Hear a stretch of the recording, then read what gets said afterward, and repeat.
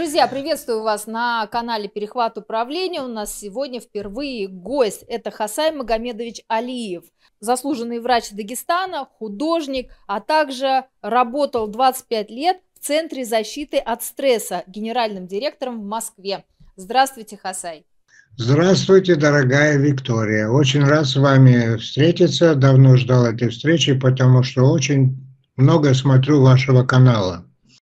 Очень приятно это слышать. Хасай, давайте сегодня поднимем тему, это ваша тема, это перехват управления, и наши тоже, сознание именно. Как перехватить сознание с помощью, я так понимаю, вашей технологии именно с помощью подсознания. Да, вот ваше название канала и то, чем занимается моя школа, которую я создал много лет назад – одинаковые по сути, потому что наша школа называется «Человек будущего» или «Школа человечности», а занимается тем, что мы э, развиваем технологию использования энергии стресса напряжения для решения собственных задач, которые раньше казались нерешаемыми. А там как раз-таки нужен перехват управления. То есть то, что человек делал инстинктивно, после нашей тренировочной работы, и теперь он может делать сознательно. То есть непроизвольные функции, ими он может управлять. И это дает ему огромные возможности. Это поэтому школа человек будущего, а с другой стороны человечности. То есть Потому... вы воспитываете человека? Да, мы, мы позволяем ему сохраниться человеком. Потому что во время стресса человек теряет голову, Бывает такой жуткий стресс. Вот я выводил э, из стресса острова детей и взрослых Беслане, потом учил этому психологов МЧС и психологов Минобороны и Минобразования. Там такой стресс был, что они психологов не слышали. И поэтому я использовал вот эту методику перехвата управления. Это очень полезно сейчас именно для тех, кто возвращается с фронта. Да, конечно, они сейчас у меня очень много людей на моем, как говорится, попечении, наблюдении и помощи находится. Ну тогда рассказывайте. Пожалуйста, пожалуйста. Я хочу сказать, э, вот вы на меня смотрите, правда же, видите такого живого, молодого, красивого художника, например, да? А на самом деле я тяжеленный инвалид, который пять лет не выхожу из комнаты. Откуда у меня берется эта энергия? Она берется из того, что я всякую неприятность, которая создает у меня почти шоковое состояние, беру в руки, как в айкидо, и перевожу на решение моих задач. Шедевры рисую, книги пишу. У меня 25 книг, 5 из них на иностранных языках. Я в бренде 5 российских авторов в Париже. После Горбачева, Шеварнадзе, Анатолия Карпова, я иду там. Ну, представляете, откуда у меня энергия берется. Я этому и учу людей, и инвалидов, и фронтовиков бывших. Очень много еще со времен афганской войны. А, мой друг, э, с которым я в школе сидел, во второй школе, Валерий Михайловский, был э, первым директором в Крюково, а, который восстанавливал афганских инвалидов и как раз использовал мой метод, мы же друзьями были. А метод называется ключ, потому что он отпирает э, подсознательные возможности. Страх, шоковое состояние, когда человек не слышит. Я просто говорю, вот что ты делаешь? Вот, например, э, к экзамену девочка готовится. У нее нервная дрожь. Или чемпион мира готовится к рекорду, у него мандраж. Я говорю, вот видишь, ты за два дня до экзамена думай об экзамене и трясись. Она говорит, зачем? Я говорю, ну вот увидишь, что будет. Вот ты сейчас стань, потрясись, думая об экзамене. И через минуту посмотрим, что будет. Она встала, потряслась, потом села и говорит, слушайте, а почему все так не делают? А я говорю, а что такое? Уверенная стала говорить.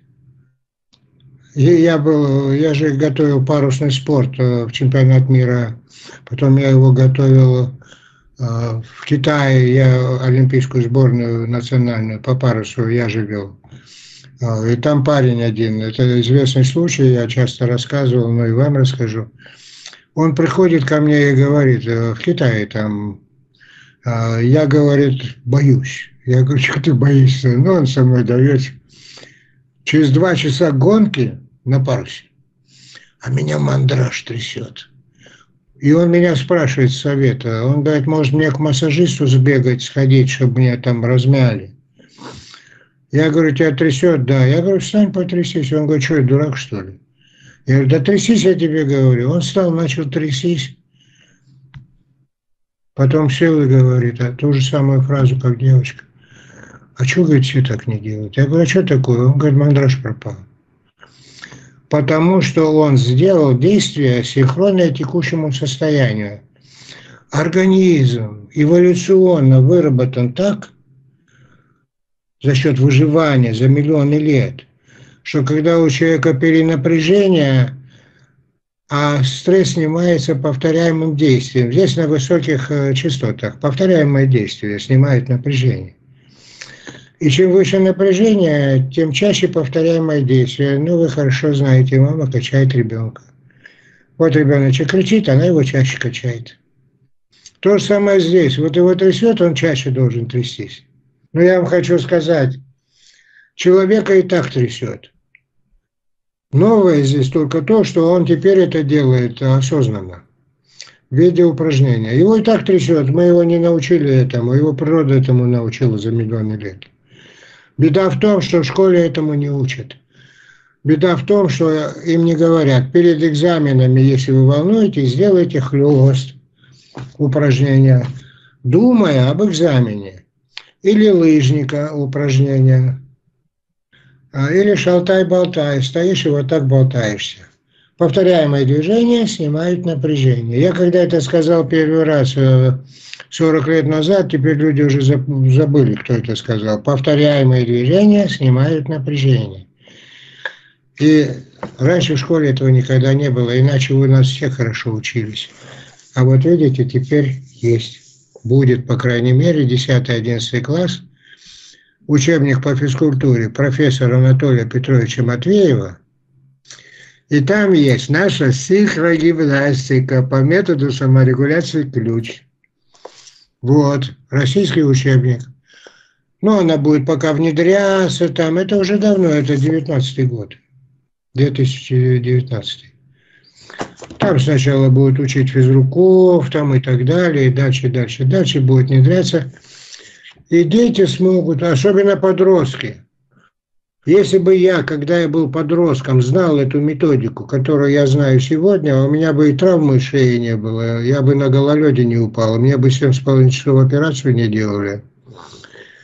Я бы летал а теперь я знаю методику и восстанавливаюсь с помощью нее. То же самое я делаю с фронтовиками. Представьте себе, можно я расскажу один случай? Да, конечно. У нас в Каспийске был теракт. Э, дом пограничников в Каспийске взорвали. А я как раз в Махачкале жил. И я как раз туда приехал, и врачи туда приехали, и много. Там был парень один. Девять осколков у него там Восемь осколков вытащили хирурги, а один еще застрял в шее. И они боялись его трогать, на всякий случай совещались, совещались, консилиумы, а он 9 дней не спал. И вот мы зашли туда, а, и я ему говорю, что ты не спишь? А он весь такой дутловатый, у него тут гипсы, тут у него все забинтовано, он лежит весь такой черный, я дутловатый такой. А он говорит, взрыв перед глазами. То есть он боится глаза закрыть, потому что опять взрыв перед глазами. И я ему говорю, знаешь, что сделаю? А у него только палец свободный, вот так гипс.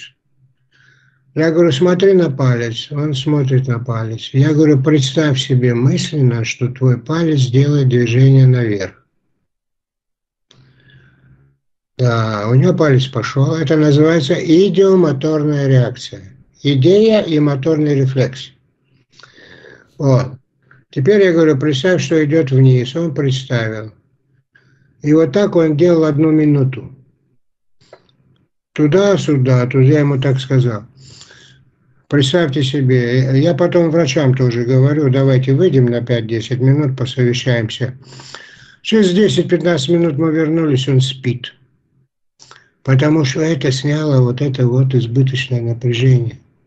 А ему уже до этого и лекарства кололи снотворное, и все эти лекарства сразу сработали. И он заснул так, что он потом сутки спал, вообще не, не поднимая век. Это один из приемов. Это можно сделать руками. Например, руки так э, повесить, чтобы шея не напрягалась, найти им положение, представить себе мысленно, что руки пошли на автомате, и они начинают медленно расходиться. Они начинают расходиться, тело начинает у человека раскачиваться, он выходит из стресса и переходит в состояние такой безмятежности, такая душевная, это я называю нулевое состояние, а Будда назвал еще тысячи лет назад нирваной. Он из стресса за 5-6 минут выходит в нирвану. А чтобы научить нирване, у нас э, по другим методам десятки лет тратит. Человек учится, вот я учится хотела вас спросить, вот вы говорите убрать стресс, а можно вообще людей научить не впадать в стресс? Нет, стресс хорошая вещь, это стресс-трамплин. Без стресса человек жить не может. Это э, стимулятор его адреналина и так далее, других гормонов, которые помогают ему перепрыгнуть высокий забор и прочее. Надо им управлять. Вот одна мама, она... Или смысл должен быть в этом. То есть, когда стресс есть, сильный стресс, направление вот этого внимания человека должно быть э, осмысленным. Мать, спасая ребенка, подняла вагонетку, которую потом пять мужиков на место не могли поставить. Такую тяжелую. Потому что она знала, зачем она это делает. А когда стресс без адреса, вот тогда он губит человека. А я вам хочу сказать, что почему у нас много больных психосоматиков и прочих гипертоников, стенокардии, почему? Открою вам секрет. Это секрет природы. Человек по природе – творец, потому что за его сегодняшней настоящностью он результат миллионов лет эволюции. И в нем этот мощнейший потенциал – этот потенциал э, творческий требует разрядки. А он часто себе не позволяет, э, ему кто-то не позволяет, или мама, или папа, или сосед, или институт, в котором учится не тот институт, не по профилю его способностей, и у него возникает конфликт. Если бы все люди заняли свое место, занимались своими делами, все были бы здоровы и счастливы. Потому что когда человек не реализует свои способности, не реализует свой потенциал, у него возникает невроз, он пытается его погасить водкой, курением, транквилизаторами, походами к врачам, там, ну и все прочее, прочее, прочее. Оказывается, вот эта водка, ну в чистом виде, эндорфины, у нас в организме вырабатываются. Зачем делать химическую? Химическая привязанность к себе вызывает – а когда человек снимает стресс и быстро снимает, у него эндорфин включается, и поэтому на школе участники, а у нас 190 тысяч, называют это качать эндорфин. Вот эти наши упражнения, которые снимают блоки, называется качать эндорфин. Был в стрессе, через 5 минут нет стресса, а есть уверенность. Вы сказали такую вещь, что человечество ну, неправильно, наверное, живет, да, поэтому испытывают стресс, вот, э, спиваются, то есть не находят цели в жизни, вот, потому что эту жизнь сам человек направил не туда, то есть он свою энергию направляет на зарабатывание денег, поэтому они ходят на работы, на работы, работают, я это называю дом, работа, кладбище, когда человек перестает творчески развиваться. Без смысла жизнь живет, без смысла. Вот есть такой величайший психолог современности Чинг Сен Михаи, который создал теорию потока. Он хотел быть свободным, поэтому занимался йогой. Потом оказалось, что йога – это не свобода, это дисциплина, надо регулярно заниматься и так далее. Потом он думал, думал, думал и додумался – он изучал э, после Великой войны, вот это наша Отечественная война, да, он изучал э, судьбы людей, и оказалось, э, что 30% из них, они чувствуют себя счастливыми, только 30%. И он изучал, почему? Он их изучал десятки лет переписками, как психолог. Оказывается, есть стадия выживания – когда человек ни о чем другом думать не думает, думает, где взять деньги, ЖКХ заплатить, или там как на свидание себя чувствовать уверенно, или на соревнованиях, или перед выступлением, или так далее, да? Это момент выживания. Есть момент, когда человек уже эту стадию прошел, и есть стадия жизни вот этой, жизни. И в этой стадии только 30% чувствуют себя счастливыми. И он выяснил, кто именно – это те, которые имеют смысл в жизни. А смысл в жизни – это любимые дела. И вот когда человек занимается любимым делом, ему природа помогает. Вот я, например, когда рисую свою картину, я в такой транс вхожу, вот как будто мне Бог помогает э, рукой водить. Это у Толстого хорошо описано в Анне Каренине, когда тот Левин косил лук, он иногда входил в такой ритм, когда у него время менялось, когда он мог косить бесконечно, потому что действие совпадало с состоянием резонансного. Вот и я как раз таки все наши приемы ключа – это действия, совпадающие с текущим состоянием. И я вам раскрою такой технологический секрет, который вот буквально недавно я уже четко сформулировал, потому что мне вся школа помогает. У меня сын психолог, э, тоже художник, дочь психолог, тоже стихи писала, они работают и с детьми, и с ранеными, и с кем угодно работают э, с психосоматикой. И школа у меня 197 тысяч в Ютубе. И они мне помогают. И у меня вот последние две книги с участием, где авторы, участники школы. А один бы я ничего не смог этого придумать. Так вот, последняя формулировка такая.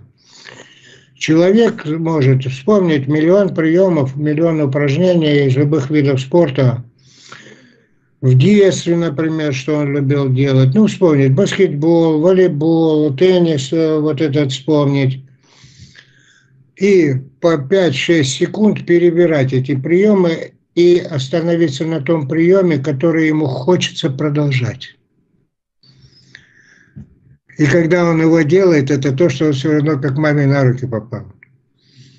Он тут же снимает блоки ума и тела, освобождается, у него появляется состояние глубинной душевной безмятежности, как в детстве. Когда он в детстве играл, бегал, футбол, там рыбу ловил, там что только он не делал, когда в детстве казалось, что одни такие длинные, жизнь бесконечная, были мама и папа, и бабушка, но он был не обеспокоен ничем, он был за защитой. Вот это состояние защищенности, уверенности, что все будет хорошо, вот этой безопасности, вот э, возникает сразу, когда человек, перебирая разные упражнения, которые ему в голову приходят, подберет то, который ему хочется продолжать. И когда он его продолжает минутку-полторы, а ему это дается с удовольствием, потому что это то, что совпадает с ним, потом он сядет, и у него такой кайф, вы меня извините. Вот там как раз-таки никакая водка не нужна, потому что там эндорфины вырабатываются. И он там оздоравливается. И психологически, и физически. Поэтому я тяжеленный инвалид, который, повторюсь, пять лет не выхожу из комнаты, потому что у меня там титан стоит. Я такой бодрый, счастливый человек, потому что я занимаюсь любимым делом и снимаю любой стресс, э, который у меня возникает. Я его, как в айкидо, перевожу на решение моих вопросов. Вот, например, сейчас свет погаснет, или кто-то позвонит мне, или упадет у меня тарелка, или еще что-то случится – Раньше я вздрагивал и думал, ах, черт возьми, а сейчас нет. На счастье. Я сразу при этом стрессе на конец этой иглы напряжения кладу свое желание. я вспоминаю несколько нерешенных мною вопросов, которые мне нужно решить и которые раньше не решались. Ну, что-то случилось, да, вот я раз сразу вспоминаю несколько вопросов, например, картину дописать или там с больным, когда встречусь, э, спал я, не спал, неважно, я в интернете всех лечу, у меня бесплатная школа там и очень много бесплатных ликбезов со всех стран мира. Я им всем помогаю. И вот здесь я отвечаю на ваш вопрос. И фронтовики там из госпиталей мне все звонят, и я врачей готовлю и так далее. Так вот, произошло какое-то событие неприятное, я беру, вспоминаю, что мне нужно сделать, что я раньше не мог сделать. И энергия эта, напряжение идет в том направлении. И потом через пару часов у меня уже появляется желание дорисовать картину, дописать книгу. Даже не спавший, если ко мне больной позвонит, я встаю, я с ним работаю. Мои больные, бывшие, это потрясающие вещи, они говорят. Вот надо один раз там с вами сделать э, такую интересную как бы связь такую, и какой-то больной мне будет звонить, я переключу на вас, и вы послушаете, что он рассказывает. Вот у меня буквально вчера была женщина, мы себе сделали запись об одиночестве, как отчаяние, как вот это состояние женское, вот этого одиночества перевести в радость и, и, и в счастье творчества. Вот у меня ролик там стоит, он должен был 5 часов выйти. Пожалуйста, посмотрите. И она рассказывает. Она выпивающая была.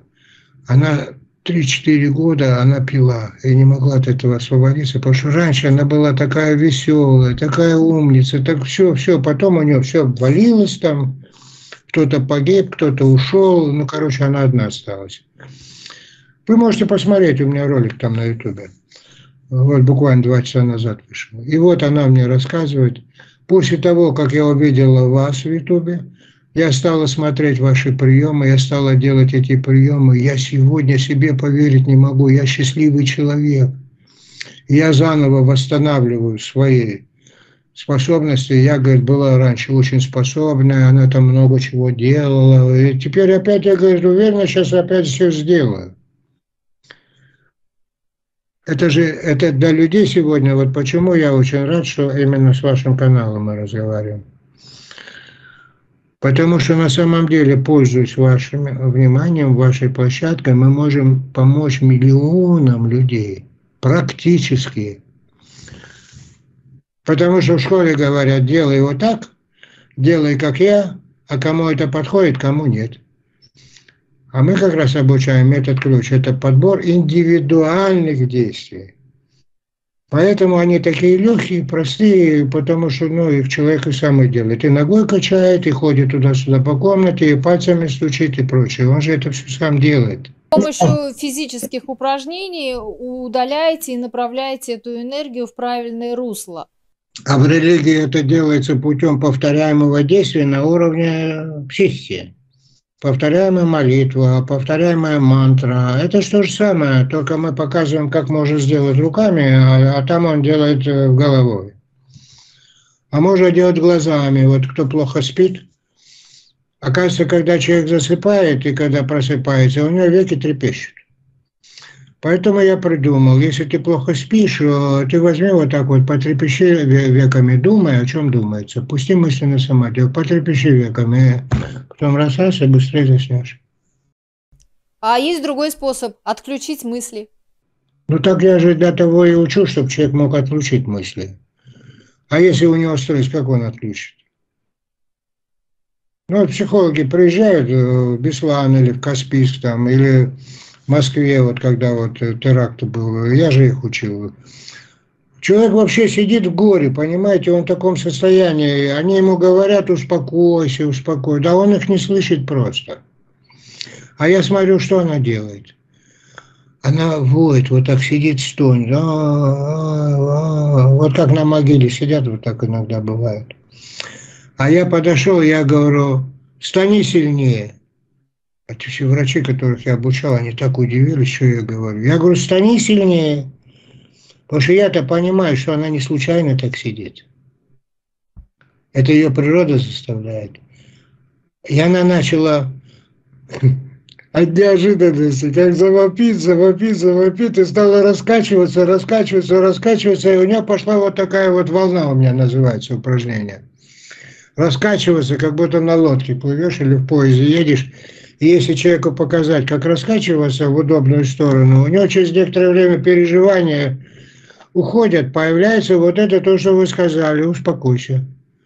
Она успокоилась, сидит вот такая, вот и мысли текут, как облака, ничего внутри не задевая. Вот этот внутренний диалог э, такой больной, он исчез. Нирвана появилась. Во всех религиях это делается. И повторяемая молитва, и поклоны, там все делается. И в намазе это делается, и в христианстве это делается, и в иудаизме это делается, и в буддизме это делается. Просто там я вам сейчас сразу механизм рассказал, и теперь вы будете это везде находить. Потому что мне участники нашей школы часто пишут, все пазлы теперь сошлись. Потому что это кусочками везде есть, во всех методах мира это есть. Только вот я вытащил рациональное зерно и в готовом виде показываю. Хазая, подскажите, как вам а, без стресса вдохновение приходит? А у меня всегда, как говорится, как солдаты спрашивают, а ты, Петрович, о чем думаешь? А я, говорит, о девочках думаю. А что ты о девочках думаешь? А я завсегда о них думаю. У меня вдохновение всегда, потому что я человек, э, как сказать, э, благодаря моему дедушке, очень добрый, очень отзывчивый. А отзывчивые люди, э, если они грешили, то не нарочно. Если они ошибались, то не нарочно. Я очень много у меня афоризмов есть. Один из этих афоризмов такой. Люди с открытыми сердцами идут правильной дорогой. Стресс направил в нужное русло, чтобы смысл был. А то я одной тетеньке говорю, девушка, у тебя проблемы, да. А ты, говорю, мечтай, когда ты спишь. Она говорит, а смысл в чем? Вот не понимаешь, что мечтание это идеализация будущего и отработка прошлого. Это как раз-таки выход из всяких тупиков э, на перспективу. Если у человека перспективы нет, то как ему жить? Вот сегодня какая ситуация непонятная в стране, правда? Мы политикой не занимаемся. Я просто говорю о том, что я бы мог с помощью учебника научить всех снимать стресс от командиров до подчиненных, они бы были более свободны и принимали более ясные, правильные решения. То, что я вам сейчас сказал, это высшая политика. Когда говорили «начни себя», правильно, вот я предлагаю метод «начни себя» в нашей ситуации неопределенности, во всей планете сегодня неопределенности. А я как раз таки занимаюсь сокращением кризисов и войн на планете и потребностью в лекарствах. Моя миссия такая. И здесь я говорю, чем больше у вас любимых дел, тем больше точек опоры. То есть мы должны в себе сознательно включать стресс для того, чтобы, допустим, сделать что-нибудь ну, сверхчеловеческое. Правильно, правильно. Поэтому я занимаюсь развитием изобретательских качеств. У меня люди изобретают такие вещи потрясающие. И мои друзья мастера Трис. Мастера Трис, э, э, изобрел Альтшулер, Генрих Альтшулер. А что который... это такое? Поясните. Теория разработки изобретательских задач. Э, у нас в стране, он жил, Генрих Альтшулер, жалко его нет. У него сотни, сотни последователей. Мои друзья, его ученики первые, они и мои ученики. Когда у меня а, Николай Калошин, э, я был как раз в Москве, жил, он был у меня в гостях, у меня в 90-м году первая книжка вышла «Ключ себе», и он, значит, был у меня в гостях, и когда я ему показал этот прием, как руки переходят из механического движения в автоматизм, он говорит, слушай, у меня голова стала такой ясная. Я, говорит, все теперь понимаю, ведь нам про это, говорит, Альтшулер рассказывал. Только он, говорит, рассказывал теоретически, а я теперь понял практически. А он, мастер Трис, О, Господи, это люди, которые, например, для сталелитейной промышленности, для другой миллиардные экономии сделали. Это очень известные мастера ТРИС. Виссарион Сибиряков там мой друг. Ну, там несколько друзей у меня. Ну, что вы, это потрясающе. Почему они в моей школе? Во-первых, потому что они изобретатели мирового класса. Во-вторых, потому что когда они стали это делать, они говорят, так это наше родное. Только мы это делали инстинктивно, а теперь ты нам показал, как это делать, когда нам нужно. А раньше происходило, когда происходит. То есть вот вдохновение у человека, включение духа, вдохновения, которое всегда происходит у человека в тех или иных событиях, теперь научается брать свои руки. Когда ему надо решить вопрос нерешаемый, он включает эти ресурсы. С помощью этих упражнений у него формируются навыки лучше управлять собой, чем это он мог делать раньше. Вот у меня человек в самолете боялся летать, теперь летает. У меня есть чемпионы мира, которые без рук, без ног сделали мировые рекорды с аквалангом, вот, штурм глубины. У меня есть люди, которые, ну, на войне ему оторвало без руки парашютист чемпион мира, без руки. Да, ну, такие люди. Вот э, эта энергия напряжения, энергия стресса, ну, раньше понимали это. Когда люди осваивают новую форму энергии, мир переходит на новый уровень цивилизации, отношений всех, социокультурных и производственных. Вот это новая форма энергии. Я считаю, что стресс, новая форма энергии, который всегда пытается владеть, начиная с Будды. Нирвана – это что такое? Это выход из стрессового состояния в состояние безмятежности. Так вот, сегодня 21 век, и как раз-таки вот этот метод-ключ, как раз-таки он подходит для вот нашей неопределенности и интернетовского времени. То есть это именно сейчас, когда я не могу с человеком соприкасаться, я же не массажист, а по интернету я его научить могу. Это прямо подходит одно к одному. И теперь я вам один случай расскажу, и вы меня очень поймете. Ко мне пришла женщина. Она из Академии технологических наук, там, где я академик тоже. Она говорит, слушай, а что со мной случилось? Я говорю, а что? Она говорит, я летела в Нью-Йорк. Туда лететь 10 часов. Я этих самолетов страшно боюсь. Я говорю, ну и что? Я, говорит, стою, говорит, в Шереметьево, смотрю и жду самолета. Его час должны объявить самолет через несколько минут. И я с таким трепетом стою и жду этого самолета. И думаю, 10 часов, это же ад. В это время передо мной, говорит, за стеклянными дверями два иудея стоят, Тору читают и головой качают. Я, говорит, засмотрелась. Я, говорит, не могу понять, я к тебе пришла спросить, говорит, ты специалист. Я летела, говорит, 10 часов как в раю. Я говорю, потому что ты перерабатывала свое переживание на фоне повторяемого движения.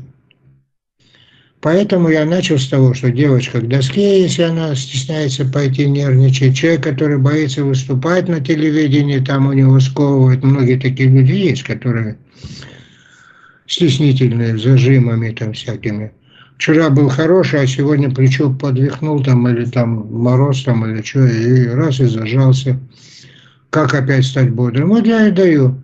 Самое главное, что это не нужно делать, например, в самолете, это не нужно делать на собрании, это делаешь дома, это домашняя работа. Закрой дверь Вспоминай любые приятные движения, которые в жизни делал. Повторяй их без всяких снарядов, фитнесов и прочее, без гантелей. У меня человек штангу поднимал дома без штанги. Он говорит, раньше я был счастливый, потому что я каждый день ходил, говорит, на спортплощадку штангу поднимал, а сейчас не могу, старый, и штанги нету, и зима, и прочее. Я говорю, у тебя штанга есть здесь. Ты, говорю, встань, а он в Германии живет. Я говорю, ты встань, и вообрази себе мысленно, что ты ее поднимаешь. Только когда это будешь делать, эту имитацию, делай в реальном времени, как ты ее делал.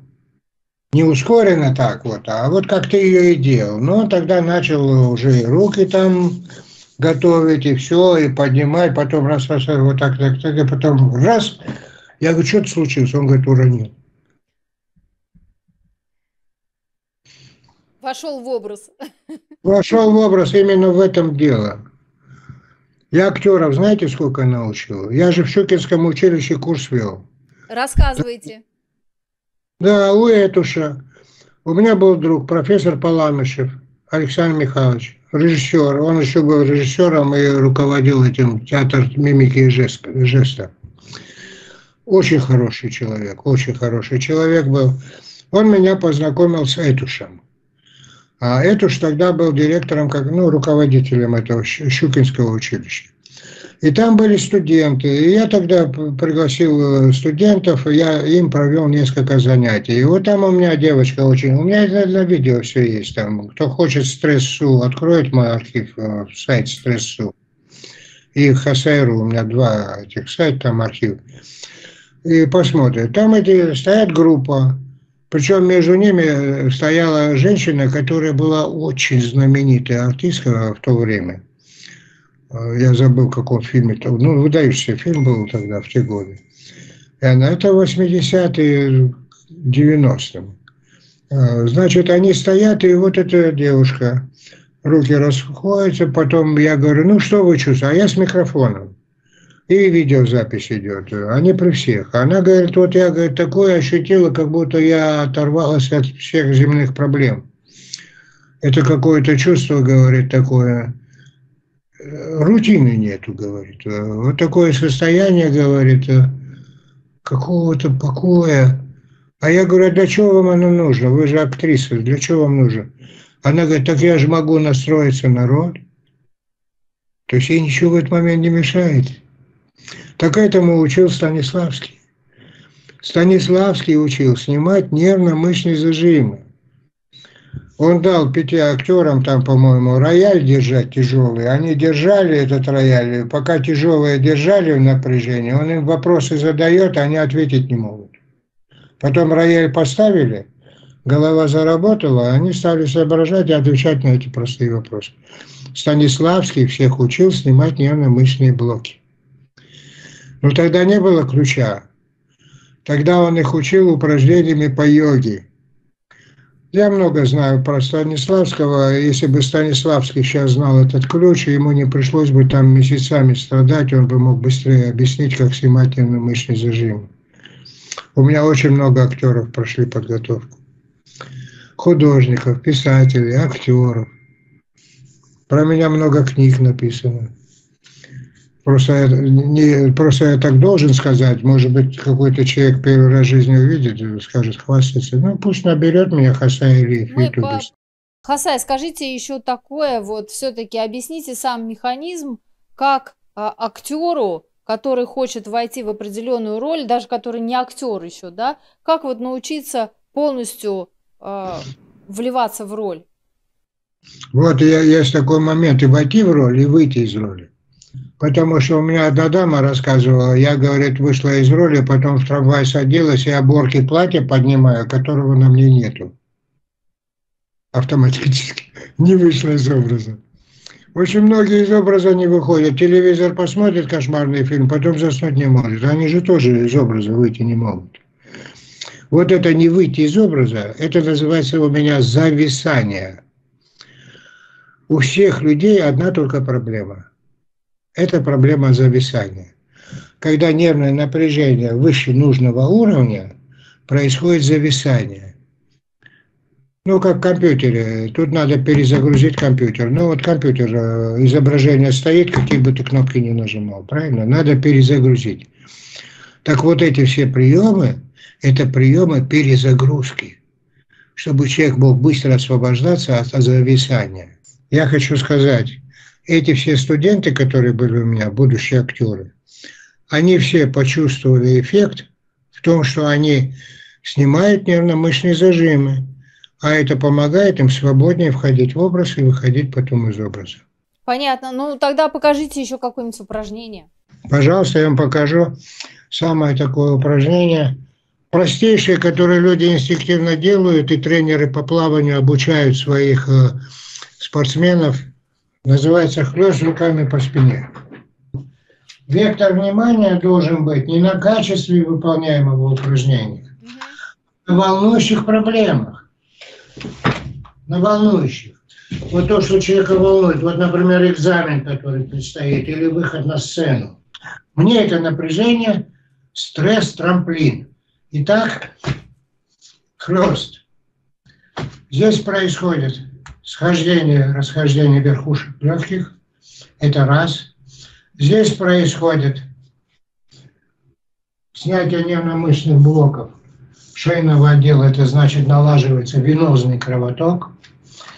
И в это время выполнения я думаю не о том, как это правильно делать, а я думаю о том, что меня волнует.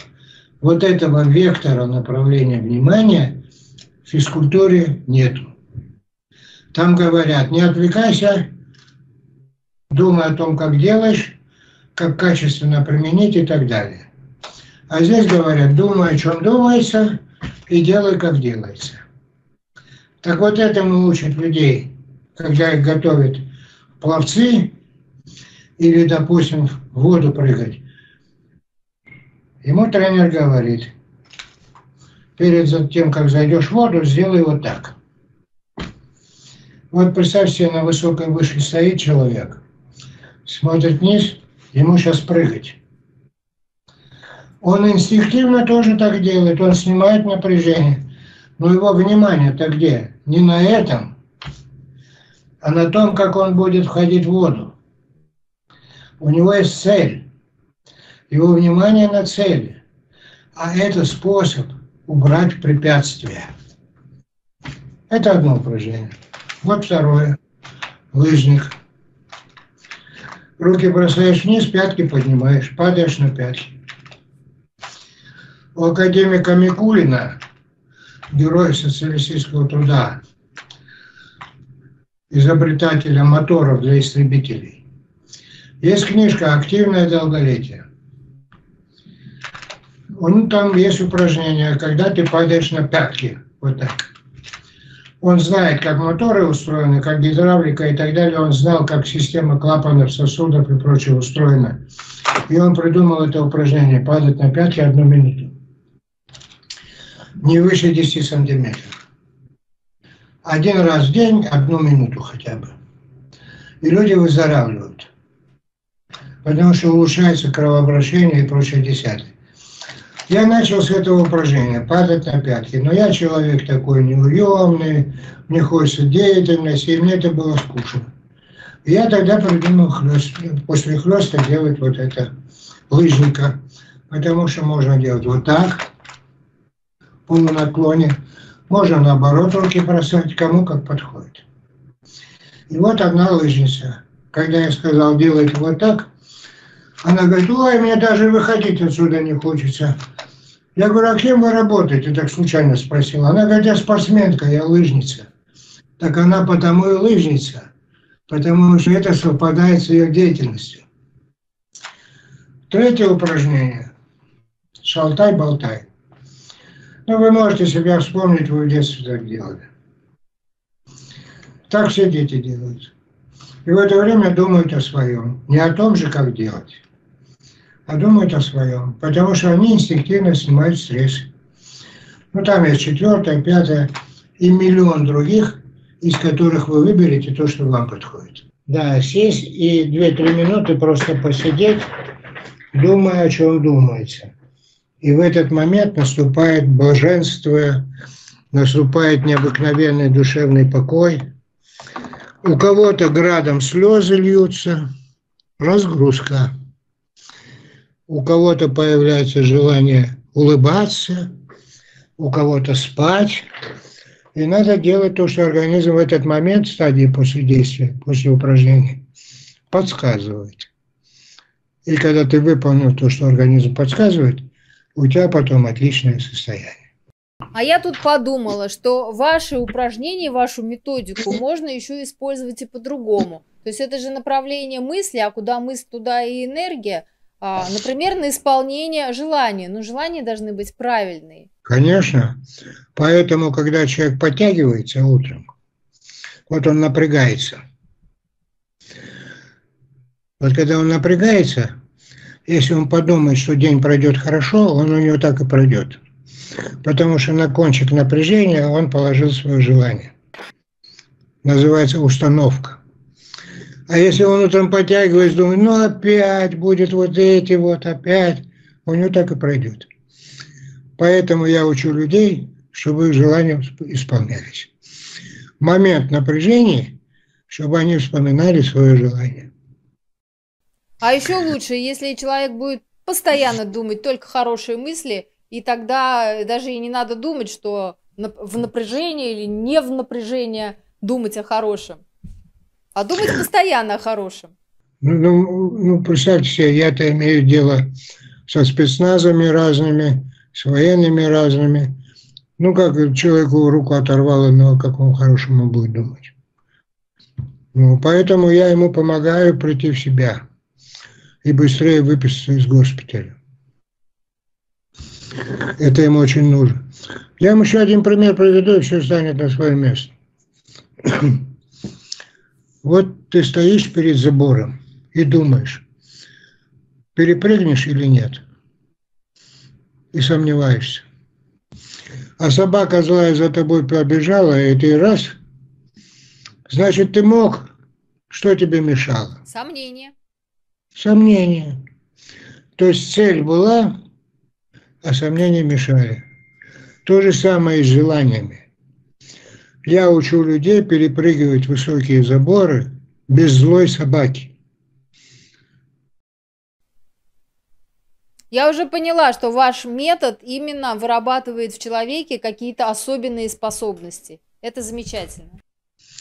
Он помогает ему раскрыть те, которые у него есть взять их под управление, сделать непроизвольные защитные инстинктивные реакции осознанными.